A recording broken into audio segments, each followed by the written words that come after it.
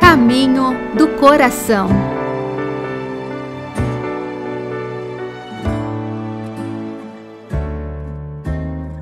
Olá, meu irmão, minha irmã. Eu sou o Padre Leomar Ribeiro, diretor nacional da Rede Mundial de Oração do Papa, o Apostolado da Oração e o Movimento Eucarístico Jovem no Brasil.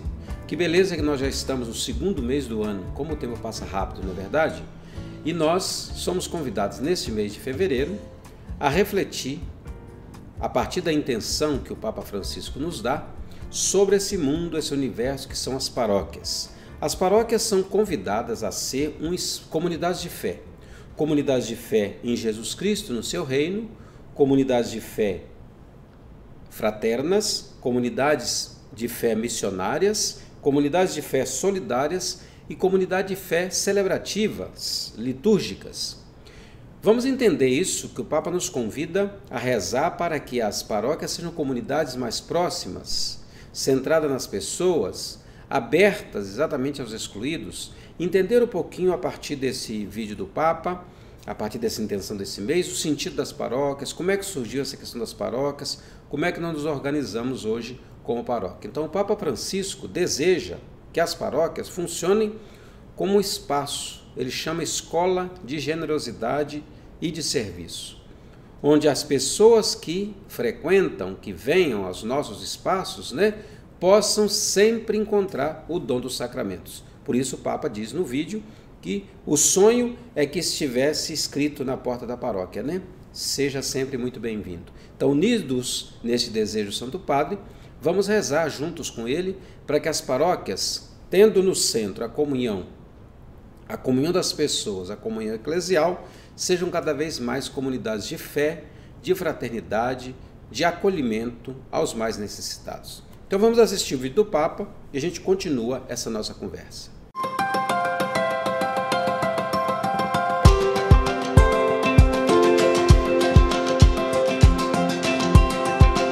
A veces pienso que deberíamos poner en las parroquias, en la puerta, un cartel que diga entrada libre.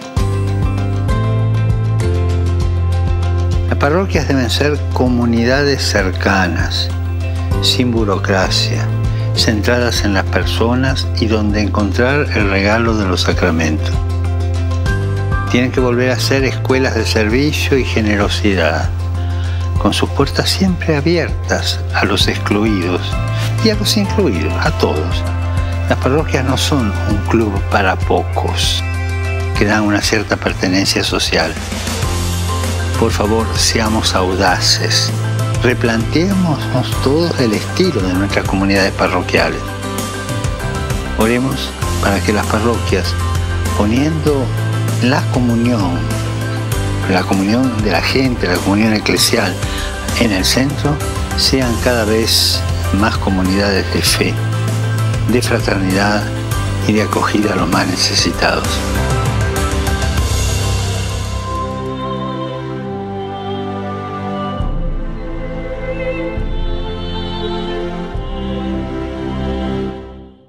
Vídeo do Papa, como nós vimos, nos chama a considerar as paróquias como verdadeiras comunidades centros de escuta, centros de acolhida, porta sempre aberta, como nos lembra o Papa no vídeo. E que a mensagem que o Papa quer nos fazer compreender muito melhor é que as paróquias devem funcionar como lugar, escola, espaço de serviço e de generosidade, onde todas as pessoas se, possam encontrar o dom dos sacramentos. Ao mesmo tempo, o, padre, o Papa pede para que nós todos possamos ser mais ousados até mesmo para repensar o estilo de nossas comunidades paroquiais. Vamos lá. As paróquias surgem na igreja no Concílio de Trento, então aí por volta de 1550. As pessoas podem perguntar, mas como que a igreja funcionou durante 1500 anos sem paróquia? Pois não existia estrutura de paróquia. Existia o bispo, existia padres, existiam é, igrejas. e o padre era ordenado para tomar conta de uma igreja. Então não existia comunidades de comunidade de fé, comunidades eclesiais, como nós chamamos, as nossas comunidades. Não, isso não existia. Então o Concílio de Trento vai colocar um pouco ordem nessa questão, até porque nós sabemos que Trento foi uma resposta à reforma é, de Lutero, a reforma protestante.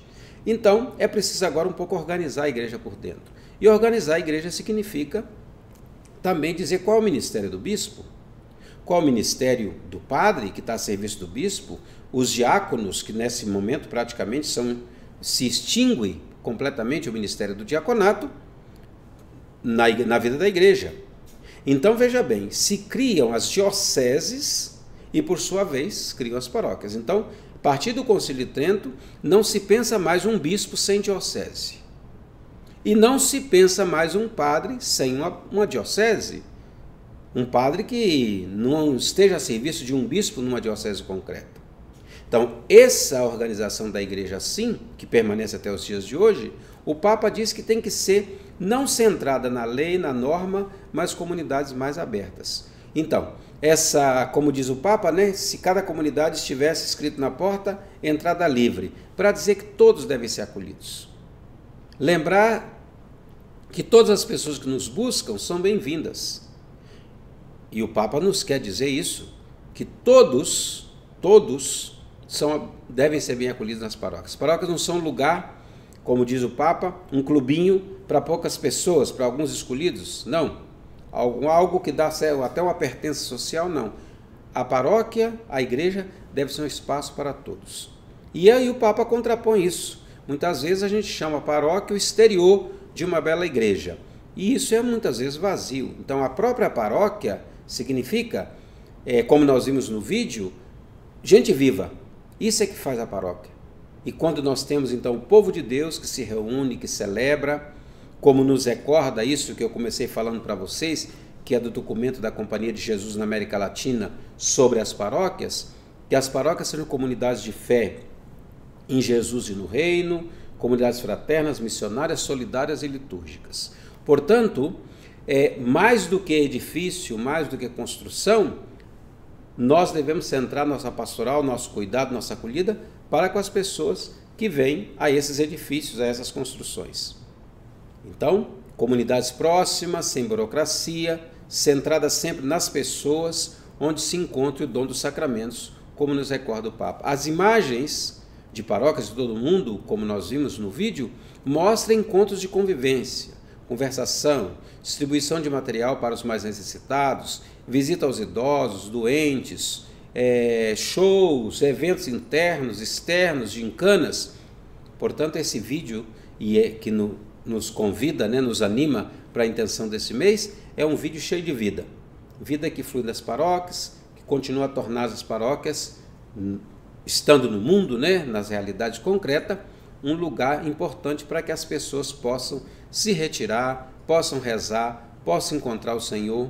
Não um espaço virtual, mas um, um espaço é, presencial. Portanto, um ponto de referência muito importante, onde a gente promove essa arte do encontro.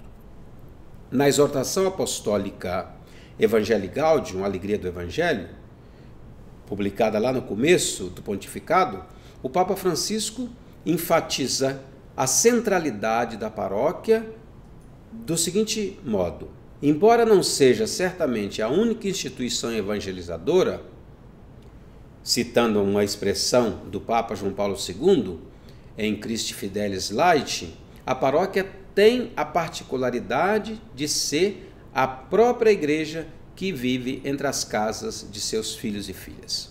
Por essa razão, esse deve sempre estar em contato com as casas e com a vida do povo, e não se tornar uma estrutura separada do povo, ou um grupo de pessoas selecionadas que olham a si mesmas. É sempre um perigo. As pastorais, movimentos, serviços, grupos da nossa igreja, que às vezes são autorreferenciais. Tudo diz respeito a eles. Não querem nem conversar com outros dentro da paróquia. Então isso não serve. Então o apelo é revisar e renovar a estrutura das paróquias. Portanto, como é que se dá isso? Através da formação, através da catequese, através da liturgia, dos sacramentos. Então, muitas vezes, nós precisamos transformar esse estilo, esse modo de ser da paróquia para ajudar as pessoas a acolher cada vez mais. É diferente pensar uma paróquia do interior de uma paróquia de cidade grande. São enormes as diferenças, mas o oferecimento da fé, a acolhida das pessoas, a celebração dos sacramentos, isso independe do lugar, porque é sempre um espaço, como recorda o Papa nesse mês, né? uma escola de serviço, uma escola de solidariedade, uma escola de atenção. Portanto, esse caminho todo que nós fazemos na vida paroquial é para ajudar as pessoas a se integrar cada vez mais. Vamos então, neste mês, sobretudo, rezar, agradecer a Deus, para que todas as pessoas possam viver melhor esse estilo de segmento de Cristo na vida da comunidade. Por que, que há outros modos de evangelização? Por exemplo, alguém que faz os exercícios espirituais de Santo Inácio. Concretamente, isso não diz respeito à paróquia, isso é uma outra experiência, mas que leva à paróquia, que leva ao serviço, leva à solidariedade, leva à missionariedade, senão não serve. Eu não rezo só olhando para mim, não rezo só pensando em mim. O nosso diretor internacional, o padre Frederico Fornos, comentando essa intenção de oração do Papa deste mês, nos diz assim: que o Papa, há alguns anos visitando uma diocese da, do interior da Itália, disse que toda a comunidade paroquial é chamada a ser um lugar privilegiado de escuta e de proclamação do Evangelho. Chamada a ser uma casa de oração, reunida em torno da Eucaristia. Chamada a ser uma, uma autêntica escola de comunhão. Portanto, escuta, oração e comunhão são três palavras-chave para a gente compreender esse novo estilo de paróquia, mais de modo sinodal, que o Papa Francisco então nos propõe hoje. Escuta, oração e comunhão. Para isso, as paróquias têm que ser comunidades reais, com pessoas colocadas no centro, porque são, somos verdadeiramente comunidades quando conhecemos o outro, quando conhecemos o seu nome, quando sabemos suas necessidades, quando escutamos sua voz, quando os acolhemos, quando nos interessamos. Quantas vezes acontece que a paróquia se torna um grupo de pessoas mais ou menos desconhecidas que se encontram para a missa dominical? Não tem nenhuma vida comunitária? Então, esse é o desafio maior hoje: ser uma comunidade de fé, uma comunidade cristã, que nasce da fé compartilhada, nasce da fraternidade vivida, nasce do acolhimento aos mais necessitados. Nasce, portanto, de uma experiência profunda, espiritual, do encontro com Jesus Cristo ressuscitado. É o convite do Papa para nós todos, a ousadia, ser ousado, ouvir a voz do Espírito, repensar o estilo de nossas comunidades paroquiais, para que nós possamos então estar a serviço da vida como Jesus também esteve. É importante sempre pensar isso. Quando olhamos para Jesus na sua missão, Jesus não foi um pároco, Jesus não foi um bispo, mas Jesus foi um servidor. E o modo como fez, então, a quem fez, o que fez, como fez, talvez seja um pouco essa pedagogia de Cristo que nós encontramos no Evangelho, que pode nos ajudar a repensar também o estilo das nossas comunidades hoje. Então, convido vocês a rezar. Reze pela sua paróquia, Reze pelas paróquias do Brasil, reze pelas paróquias do mundo inteiro, reze por tantas comunidades ligadas a seus párocos, a suas paróquias no mundo inteiro, que precisam da nossa oração e que nós todos possamos contribuir para que as nossas paróquias, a nossa experiência seja cada vez mais isso, crescer na fé em Jesus Cristo e no reino, construir comunidades fraternas, missionárias, solidárias, litúrgicas, celebrando cada vez mais a nossa vida e a nossa fé. Um grande abraço para você e até a próxima semana, se Deus quiser. Oração ao Sagrado Coração de Jesus. Ó coração de Jesus, meu Salvador, que depois de ter derramado o vosso sangue na cruz até a última gota, imolai-vos todos os dias na missa Eis-me diante de vós, desejando ardentemente corresponder aos apelos de vossa imensa caridade. Prometo empregar todos os esforços para que o vosso reino seja ampliado nas comunidades, nas famílias e nos corações de todos. Jesus, manso e humilde de coração, fazei o nosso coração semelhante ao vosso.